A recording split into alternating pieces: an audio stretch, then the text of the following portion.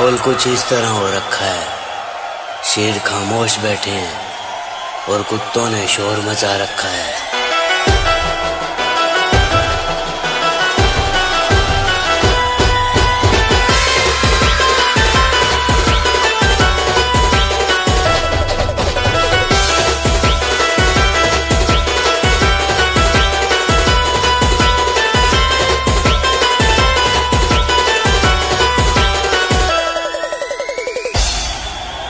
बेटा, जब तक मैं शांत हूँ ना, दबा के शोर कर लो।